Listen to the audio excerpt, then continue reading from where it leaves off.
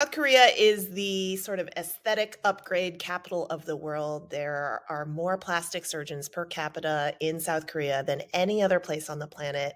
Brazil, which is the runner up, isn't even close. It has 150% more. South Korea has 150% more plastic surgeons per capita than the next most distant runner up, Brazil. And America falls way behind in third place.